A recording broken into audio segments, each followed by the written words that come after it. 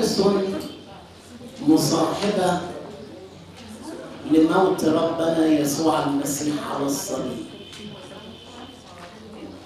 وإذا حجاب الهيكل قد انشق إلى اثنين من فوق إلى أسفل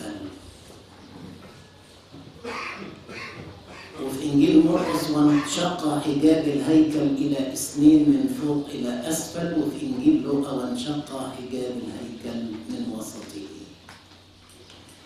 أثناء صلب السيد المسيح له المجد هناك عوامل طبيعية وغير طبيعية قد حدثت. تصاحب صلب ربنا يسوع المسيح. أول حدث اللي هو إظلامة الشمس. وكلمة إظلامة الشمس دي أخذناها في الظلمة على الأرض اللي هي في الصفحة اللي فاتت. وشرحناها. تاني حدث مصاحب لصلب المسيح وإذا حجاب الهيكل قد انشق إلى إثنين. وانشقاق حجاب الهيكل يعني انتهاء الذبيحة الدموية. حينما ينشق حجاب الهيكل معناها أن هذا الهيكل لم يعد هو الهيكل بتاع العهد الجديد.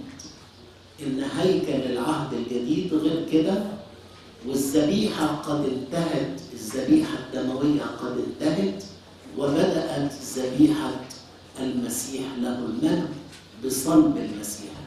وطبعا ده مرافق لصلب السيد المسيح. لأن قبل صلب المسيح كانت الذبيحة الدموية موجودة وسليمة وبها تغفر الخطية بس تغفر على أساس المسيح المصلوب ولكن أول ما اتصلب ربنا يسوع المسيح انتهت الذبائح الدموية ولذلك انتهى الهيكل الذي تقدم فيه هذه الذبائح ولذلك انشق حجاب الهيكل. هناك حجابين. حجاب بين الشعب والقدس وحجاب بين القدس وقدس الأقداس. الحجاب اللي انشق هو الحجاب اللي بين القدس وقدس الأقداس. وبهذا المعنى إن المسيح له المجد دخل إلى قدس الأقداس مرة واحدة وصنع فداء. ولذلك اختلط القدس بقدس الأقداس والآن كل كاهن في العهد الجديد يمكنه أن يدخل إلى قدس الأقداس. فقدس القدس وقدس الأقداس بقيوا حاجة واحدة لأن الحجاب قد انشق. لكن خدوا بالكم الحجاب بين قدس الأقداس ما إحنا دلوقتي كان في حجابين. انشق حجاب يعني بطل حجاب بقي حجاب. كان الموضوع مقسم إلى ثلاث أقسام قدس الأقداس والقدس والإيه؟ والمحلة اللي فيها الناس. الآن اللي فيها الشعب. الآن بيجوا مكانين بدل ما هم ثلاثة. المكان قدس الأقداس. الأول والثاني الشعب. لكن هذا الحجاب لم ينشق لذلك ما زال موجودا ولذلك قدس الأقداس في العهد الجديد لا يدخله إلا أصحاب الدرجات الكهنوتية. في الحقيقة الوضع الأصيل في الكنيسة إن محدش يدخل إلى قدس الأقداس في العهد الجديد إلا من يقال عنه كاهن. وكلمة كاهن تنطبق على الأسقف برتبه دي درجة اسمها الدرجة الكهنوتية الأسقف برتبه الرتب؟ بطريرك أو بابا وأسقف أو مطران وقسيس أو أمس دي الدرجة دي الدرجة درجات الكهنوت والشماس والمقصود الدياكون لأن لما أقول كلمة شماس يبقى معناها الدياكون إنما اللي أقل من شماس اللي هو آه مساعد شماس واخد بالك؟ والأغنسطس اللي هو القارئ دول المفروض ما يدخلوش إلى الهيكل. والوضع الأصيل إن مفيش حد بيدخل إلى قدس الأقداس إلا الذي قدس للعمل الكهنوتي يعني ما ينفعش إنه يشتغل وسط كاهن ب- ب- برتبة شماس ويبقى مدرس أو مهندس أو دكتور. لا الشماس هو زي أيوه هو مكرس للخدمه ولابس أسود. وكده. إذا حجاب الهيكل قد انشق. وانشقاق حجاب الهيكل يذكرنا أيضا بأن رئيس الكهنة في أثناء المحاكمة قد شق ثيابه. وهنا قد وقف كهنوت العهد القديم. يبقى وقف الكهنوت في شق ثياب رئيس الكهنة ووقفت الذبيحة بتاعت العهد القديم في انشقاق حجاب الهيكل دي أول آسف دي تاني حدث من الأحداث المصاحبة لصلب المسيح. الحدث الأول اللي هو الظلمة والحدث الثاني هو حجاب الهيكل الحدث الثالث والأرض تزلزلت والصخور تشققت. الأرض تزلزلت والصخور تشققت ده معناها أن الطبيعة اهتزت من هيبة الموقف. إن إله الطبيعة يموت على خشبة الصليب ما كان أحد يتصور هذا وما كان ممكنا أن إله الطبيعة القوي يصلب ويهان. ويموت إنه قدوس الحي الذي لا يموت. هذه هي طبيعته ولكنه تأنس خصيصا من أجلنا وأخذ طبيعة الموت. علشان كده حدثت زلزلة حينما صلب ربنا يسوع المسيح. وزلزلة حينما قام السيد المسيح. والصخور تشققت النمرة اللي بعديها اللي هي والقبور تفتحت تكملة للموضوع ده القبور تفتحت وقام كثير من أجساد القديسين الراقدين وخرجوا من القبور بعد قيامته ودخلوا المدينة المقدسة وظهروا لكثير القبور تفتحت.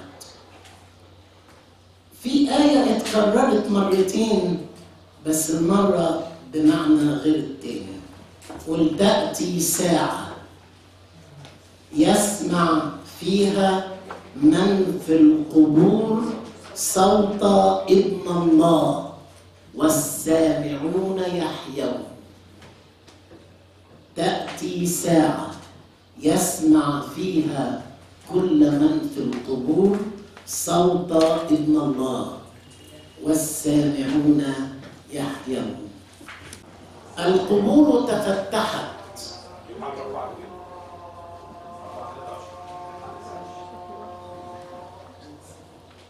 وقام كثير من أجساد القديسين. مش كل مش كل القديسين قاموا لا مجموعة عدد معين. كثير والمجموعة دي مش مجموعة قليلة مجموعة كبيرة. وقام كثير من أجساد القديسين الراقدين. وخرجوا من القبور. إيه ده؟ لماذا حدثت هذه المعجزة الغريبة والعجيبة؟ لئلا يقال أن المسيح له المجد قد انهزم أمام الموت. صحيح إن هو أقام موتة لكن لما جاله الموت الموت غلبه. ولكن شاء ربنا لكي يموت ولكي يثبت أنه مات بإرادته. من أجل هذه الساعة اللي هي الموت على الصليب قد أتيت. لذلك صاحب موته قيامة أموات. في موته أقام الموتى حينما صرخ وهو على الصليب وأسلم الروح سمع الكثير من القديسين صوت ابن الله. زي ما بنقول الآية إيه؟ تأتي ساعة يسمع فيها من في القبور. صوت ابن الله والسامعون يحيون فيروحوا قايمين. ده معناها إن إيه ده؟ الذي يقيم الموت في لحظة موته. هل انهزم من الموت؟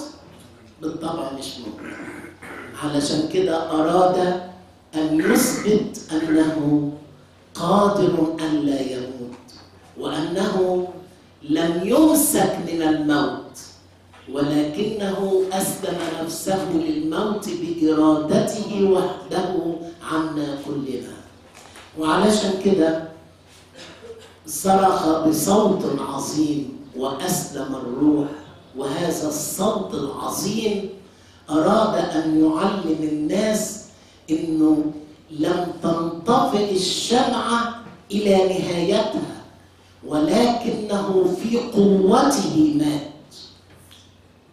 وكان صوته عظيم أسمع الذين في الجحيم والذين في القبور.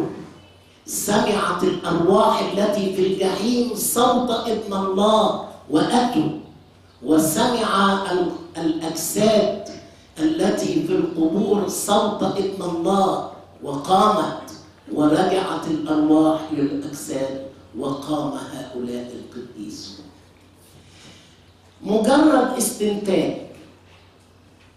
من هم الناس اللي آه قاموا اولا هم قديسون. ثانيا لابد أن يكونوا أبناء الجيل الحالي الحالي يعني في زمن صلب المسيح بمعنى اللي ليه سنة اللي ليه سنتين اللي ليه خمسة اللي ليه عشرة ليه؟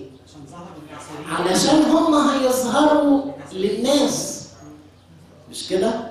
لو جاء ناس مش معروفين مين يثبت إن دول كانوا ميتين وقاموا لكن لكن كل مجموعة من الناس يعرفوا قريبهم اللي اللي مات الشهر اللي فات وقام.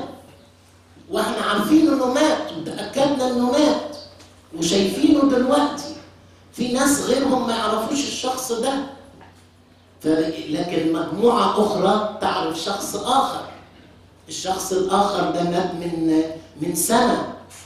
إذا هؤلاء أناس متناثرين من مجموعات من الناس من بلدان مختلفة ولكنهم دفنوا في أورشليم لهم أقرباء في مناطق معينة بحيث إن الناس لما تشوفهم تتأكد. الناس دول تأكدوا من أجل فلان والناس دول تتأكدوا من أجل فلان والناس دول تأكدوا من أجل فلان. علشان كده مجموعة من القديسين من أبناء الجيل دي كلمة استنتاجية مش موجودة. علشان يتأكدوا من أن المسيح في موته أقام الموتى. وقام كثير من أجساد القديسين الراقدين وخرجوا من القبور. بعد قيامته يعني هم قاموا أثناء إيه؟ صلوا وخرجوا بعد قيامته ودخلوا المدينة المقدسة وظهروا لكثيرين. إيه قصدك يا رب؟ ليه دول انتظروا يدخلوا أورشليم في وقت قيامتك؟ قاموا في وقت موتك. علشان يثبتوا أنك لم تنهزم من الموت بل في موتك أقمت الموت. والناس يتأكدوا من قيامة اقربائهم الذين يعرفونهم. إذا تسهل عملية تصديق قيامة المسيح. يعني إيه؟ يعني أنا لو جيت أشك في ان المسيح مش ممكن يكون قام؟ لا دلوقتي أنا لما أسمع هقدر أصدق. ليه أقدر أصدق؟ لما فلان لما مات المسيح على الصليب فلان فلان اللي مات من السنة اللي فاتت قام. وأنا شايفه وأنا دفنه بنفسي وعارف.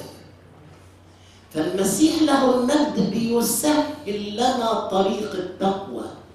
بيسهل طريق الإيمان علشان يخلي قيامته مقبولة ومعقولة ومن الممكن أن الناس تؤمن بها. فأنا أبشر بقيامة المسيح في الوقت اللي أنا شايف ناس أقامهم المسيح بموته. وما أقدر أصدق قوي لأن أنا شفت الناس اللي قاموا من الاموات أنا الحته دي بت بتفكرني بحاجة تانية.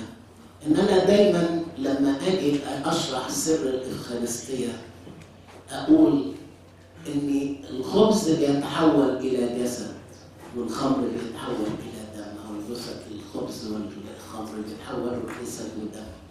المسيح له المجد أعطانا معجزة دائمة مصاحبة تسهل لنا هذا الإيمان.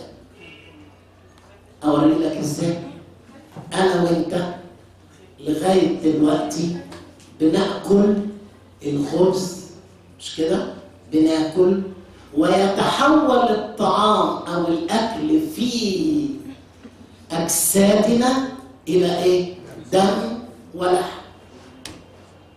مش بيحصل كده؟ كل المأكولات اللي إحنا بناكلها بتحصل لها إيه؟ تتحول فينا إلى إيه؟ ده جسد أو لحم ودم. وهذه المعجزة الدائمة التي أعطانا الله في طبيعتنا تسهل لنا الإيمان بأن الإله الذي صنع فينا هذا يمكن أيضا أن يصنع فينا فكرة تحول الخبز إلى جسد والخمر إلى دم. والقبور تفتحت وقام كثير من أجساد القديسين الراقدين وخرجوا من القبور بعد قيامته ودخلوا المدينة المقدسة وظهروا لكثيرين. علشان الناس تقدر تفهم.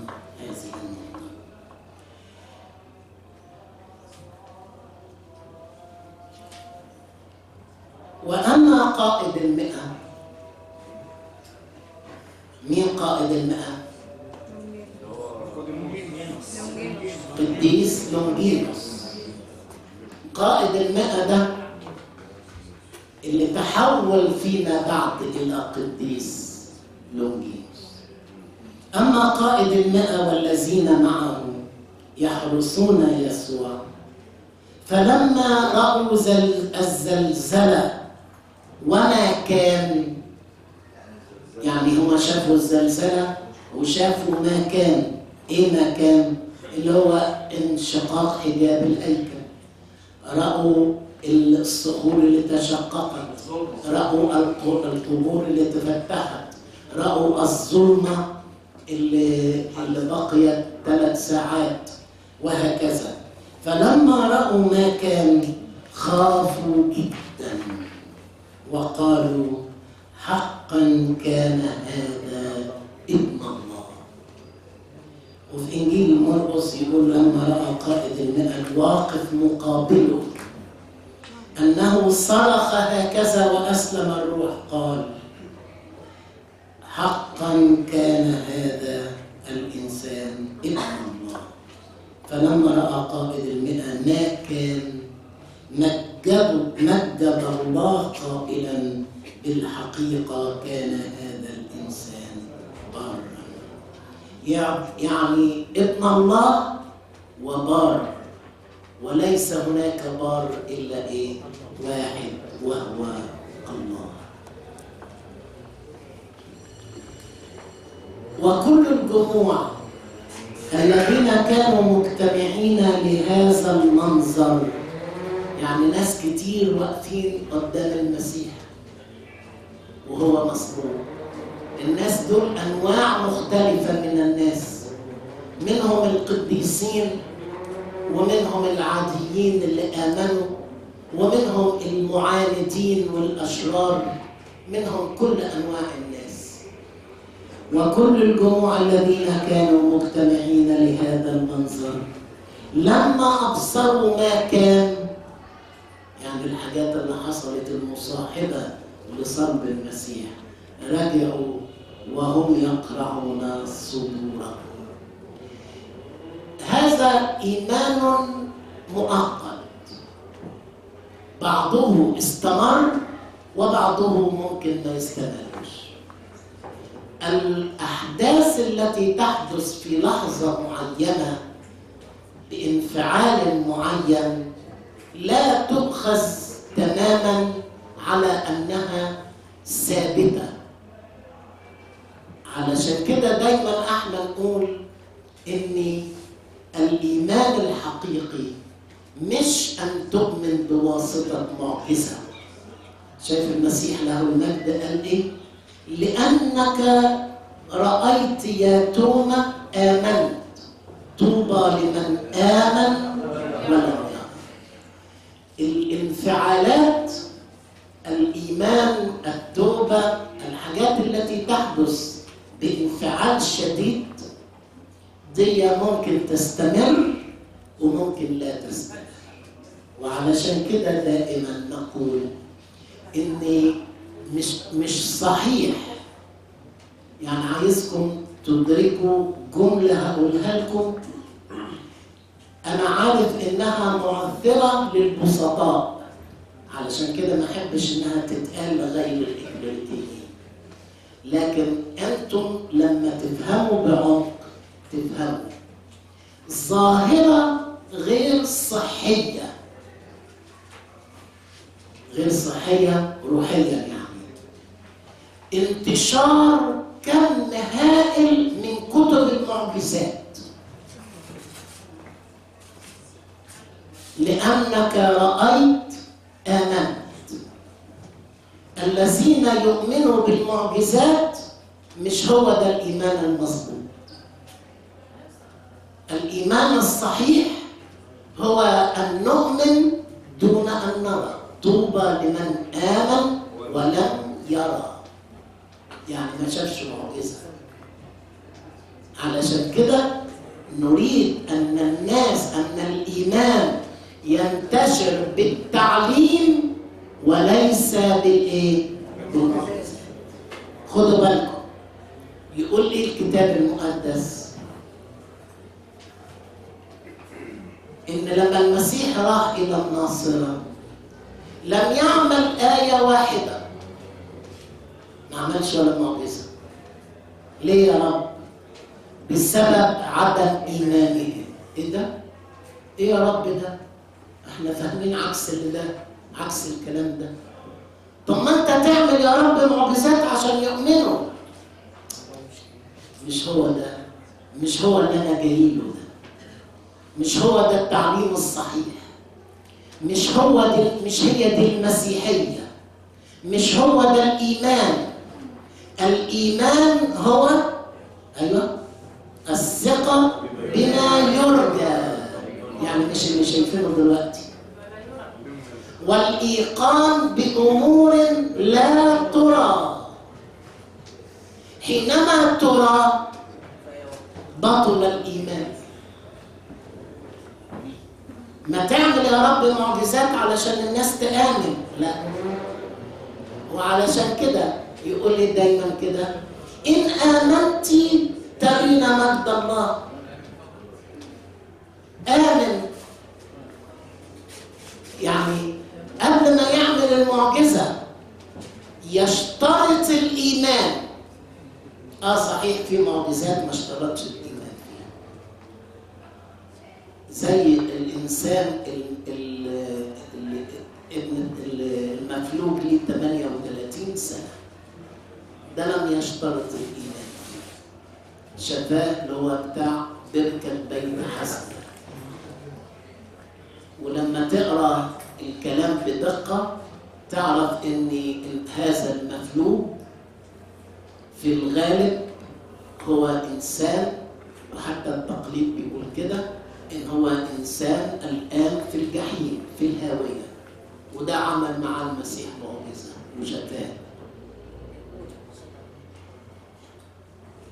وده برضو اللي التقليد بيحكي عنه حكاية إن هو جه يمنع مريم خدوا بالكم إن شوف يقول الكتاب المقدس المخلع أيوه اسف أنا كنت المخلع هو ليه 38 سنة. شوف يقول الكتاب المقدس إن قعد هو المدة دي كلها مريض ولما شفاه المسيح ما اشترطش من منه ولا حاجة. قال له إيه؟ اذهب ولا تخطئ فيما بعد لئلا يكون لك عارف راح عمل إيه هو؟ راح دور بسرعة. فين فين اللي بي اللي, اللي بيدوروا على المسيح؟ فين اللي بيقولوا؟ آه اللي بي اللي بيقولوا إن هذا الإنسان مش من الله لأنه بيعمل المعجزات في يوم السبت. وراح قال لليهود إلحقوا. المسيح شفاني في السبت. شايف؟ الكلمة اللي قبليها إن المسيح شفاه واحد ليه 38 سنة مفلوج المسيح شفاه قال له متشكرين؟ اطلاقا.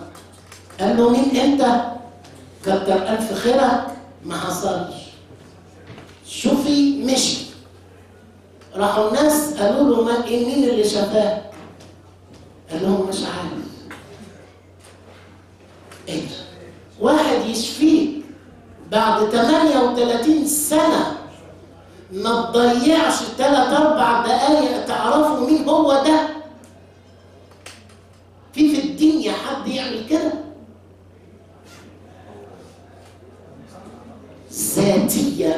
محصور في ذاته ولا حتى اللي شفاه ما يفكرش إنه ده يطلع اسمه إيه ولا يقول له كتر خيرك ولا يقول عنه إنه إنسان عظيم. ولما عرف اسمه مشي. طب دور على المسيح على علشان يشكره لما سألوه مين اللي شفاك وما عرفش. دور على عليه. علشان يقول له انت مين علشان اؤمن بيك ولا انت مين علشان أقول انك انت انسان كويس وعملت الحاجات دي من اجلي؟ ما حصلش. ده شوف يقول الكتاب المقدس. فوجده يسوع. مش مش هو اللي وجد يسوع مش هو اللي دور على ربنا يسوع المسيح لا. ده المسيح اللي بيدور عليه علشان ينصره وقال له إنك اديك ها أنت قد برؤت فلا تعود تخطئ لئلا يكون لك اشر فمن هذا الوقت راح بسرعة لليهود وقال لهم اللي شافاني في يوم السبت هو مين؟ هو المسيح. يعني برضه فعلا اتصرفوا معاه. ده راجل وحش أدي علشان تعرفوا إن مش ضروري ابدا ان لم تحصل معاه المعجزة يروح السماء ولا يكون يعرف ربنا. ياما ناس حصل معاهم معجزات وفي أعماق الهاوية. ولا اللي بيعملوا المعجزات مش دليل على إن دول يعرفوا ربنا. أليس باسمك تنبأنا؟ أليس باسمك أخرجنا شياطين؟ أليس باسمك صنعنا قوات؟ اذهبوا عني يا ملاعين إني لم أعرفكم قط. إيه ده يا رب؟ اللي كانوا بيعملوا دول اللي بيخرجوا شياطين وبيعملوا معجزات ما بتعرفهمش قط. أيوة شايفين؟ علشان كده خدوا بالكم من قصة المعجزات. ليست المعجزة دليل على أن اللي اتعملت مع المعجزة يعرف ربنا. المعجزة تعمل مع القديسين ومع الأشرار. ولا اللي عملوا المعجزة اللي بيعملوا المعجزة بعضهم قديسين وبعضهم أشرار. خدتوا بالكم؟ فلما أبصروا ما كان رجعوا وهم يقنعون ثم إذ كان استعداد إيه حكاية الاستعداد دي؟ استعداد لمين؟ للسبت خد بالك إحنا ما زلنا في يوم الجمعة الإيه؟ الكبيرة والسبت لم يأتي بعد كله ده لسه في يوم الجمعة في صلب المسيح وكل الأحداث دي حدثت في يوم الجمعة طيب والاس... والإيه طيب السبت لم يأتي الاستعداد ولكن هذا السبت كان إيه؟ لأن ذلك السبت كان عظيما. ليه؟ علشان مناسب لعيد الفصح. يعني عيد الفصح لسه ما جاش. لسه ما جاش. يوم الجمعة الكبيرة ولسه ما جاش. لسه ما جاش. عيد الفصح في هذه الجمعة الكبيرة. لكن لغاية الصلب ده كان لسه ما جاش. شوف يقول إيه؟ ثم إذ كان استعداد فلكي لا تبقى الأجساد على الصليب في السبت لأن يوم ذلك السبت كان عظيما. كان عظيما علشان عيدين مع بعض السبت وعيد الفصح سأل اليهود بيلاطس أن تكسر سيقانهم ويرفعوا خدوا بالكم دي نقطة مهمة خالص. أشرت إليها وأنا بشرح خميس العهد. لكن دلوقتي هيبقى الكلام أسهل مما قلته وهو في خميس العهد. لغاية دلوقتي عيد الفصح الأصلي ما جاش طب ما اليوم خميس العهد حصل إيه يا رب؟ حصل إن السيد المسيح عمل فصح مبكر عن عيد الفصح بيوم لماذا يا رب؟ لأنه هو سيسلم نفسه على الصليب في عيد الفصح خدتوا بالكم؟ آه. طبعا بيجتمعوا هم في المساء بين العشاءين يعني بالليل المسيح اتصلب في النهار وبعد كده احتفلوا بالفصح بعد كده. طيب خد بالك علشان كده الفصح اللي عمله السيد المسيح الم... الفصح المبكر اللي عمله السيد المسيح كان فيه خبز مش فطير. يعني الخبز لم يمنع. الفطير موجود والفصح موجود والفطير موجود لكن بعد ما عمل الفصح عمل إيه بقى المسيح؟ اتركن الفصح بالفطير بتاعه بالكؤوس المجموعة اتركنت وبدأ موضوع جديد خبز مختمر مع كأس واحدة علشان كده في صورتين لازم تعرف الفرق بينهم. صورة اسمها صورة الفصح. الصورتين شكل بعض بالظبط. المسيح له المجد وحواليه إيه؟ أيوه الاسم وبعدين الصورة دي فيها على الترابيزة مجموعة كؤوس ومجموعة أطباق. ده الفصح. الصورة اللي بعدها فيها إيه؟ كأس واحدة وطبق خبزة واحدة ده هو سر الإيه؟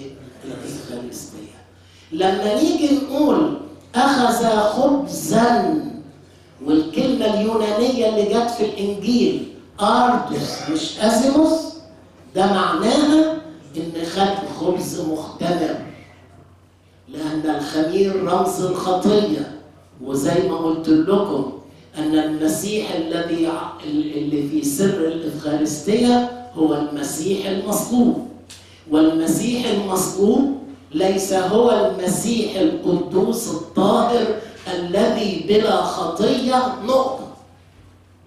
أمال إيه؟ هو المسيح القدوس الطاهر الذي بلا خطية والذي حمل خطايانا. والذي لم يعرف خطية صار خطية من أجلنا علشان كده سر الإفخارستية لازم يبقى فيه إيه؟ خبز مختمر أو خمير اللي هو رمز للخطية. واضح لماذا نحن الكنيسة البابوية الرومانية مش واخدة بالها من إن المسيح عمل إن الفصح مبكر؟ وهم قالوا إن المسيح عمل سر التناول بعد الفصح والفصح بيكونوا عازلين الخمير يبقى إيه؟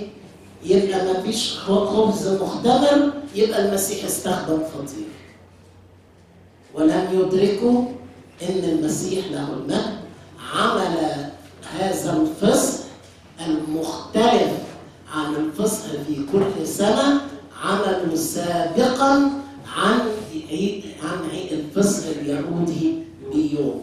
كامل سأل اليهود بيلاطس أن تكسر سيقانهم ويرفع طبعا علشان العيد علشان السبت وعلشان عيد الفصح.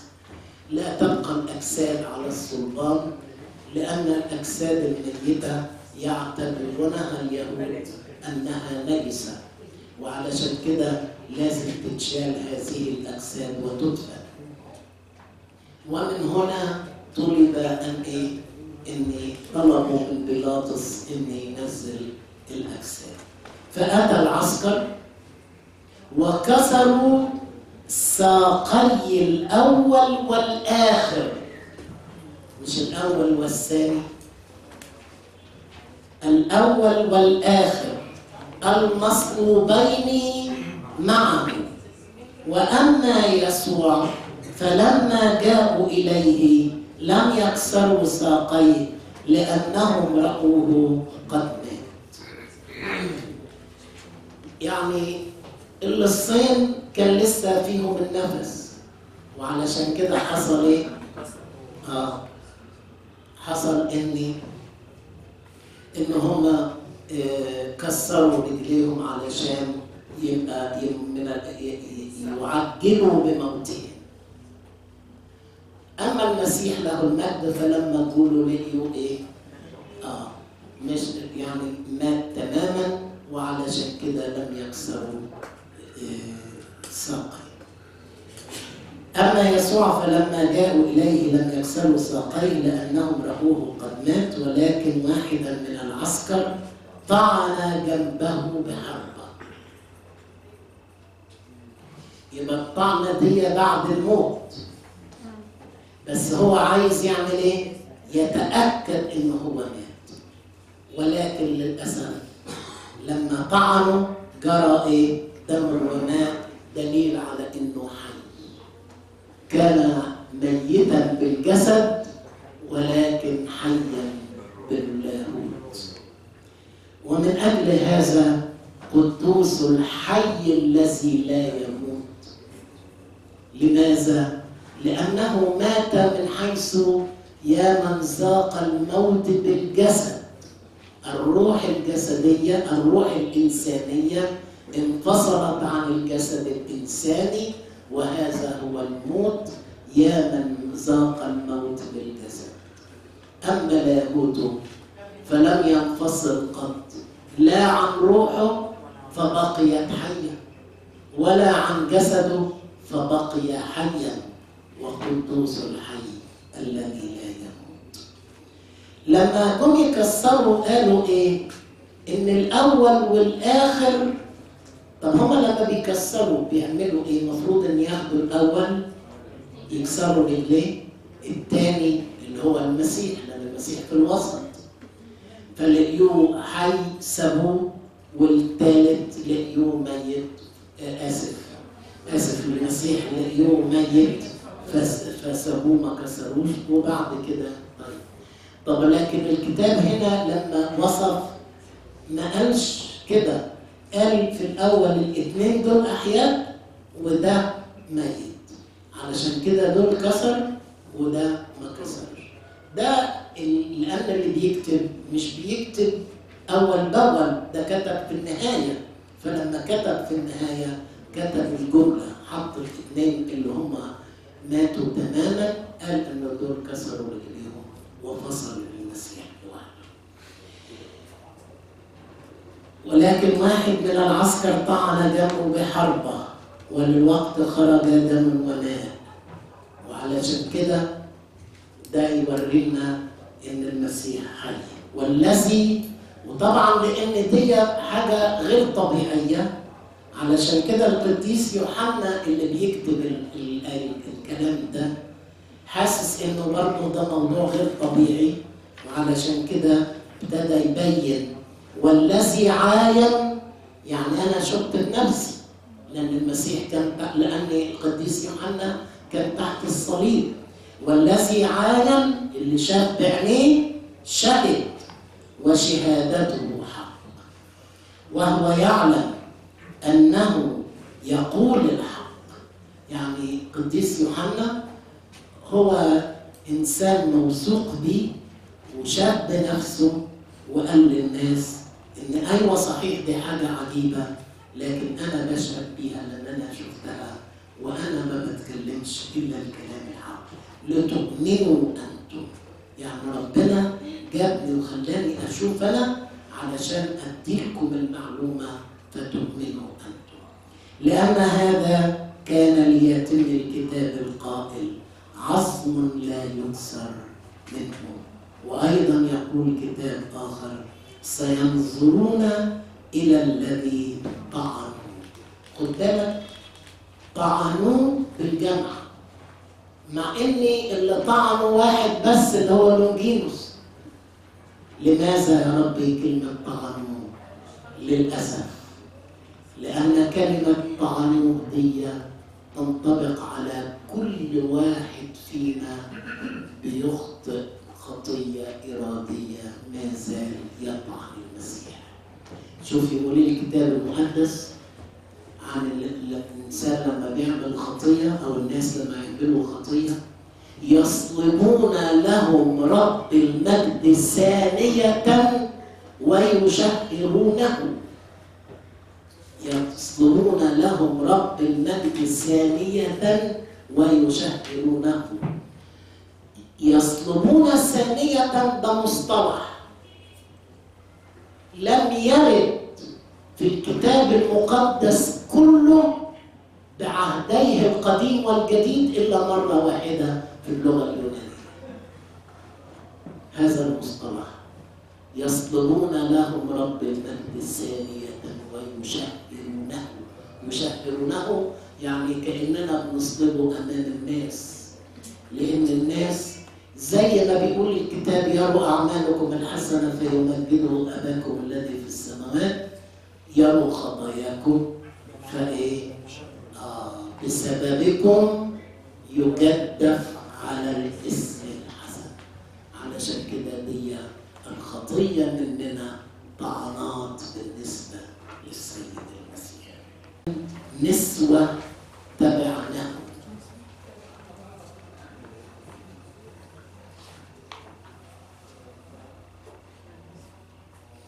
وكانت هناك نساء كثيرات.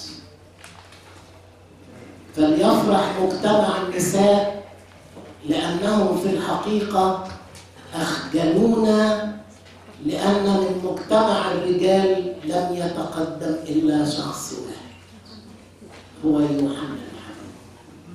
أما من مجتمع النساء فكثيرات وكانت هناك نسوة كثيرات ينظرن من بعيد وهن كنا قد تبعنا يسوع من الجليل يخدمنه وبينهن مريم المجدلية مريم أم يعقوب ويوسف ويوسي وأم ابني زبدي. في إنجيل مرقس وكانت أيضا النساء ينظرن من بعيد بينهم بينهن مريم المجدلية مريم أم يعقوب الصغير ويوسي وسالومة اللواتي أيضا تبعناه وخدمناه حين كان في الجليل. وأخر كثيرات اللواتي صعدنا معه إلى أورشليم. في إنجيل القديس لوقا وكان جميع معارفه والنساء كنا قد تبعناه من الجليل واقفين من بعيد ينظرون ذلك ما أروع هؤلاء النسوة والمريمات بالذات لأنهم ما تبعناه من الجليل وعلشان كده كانوا.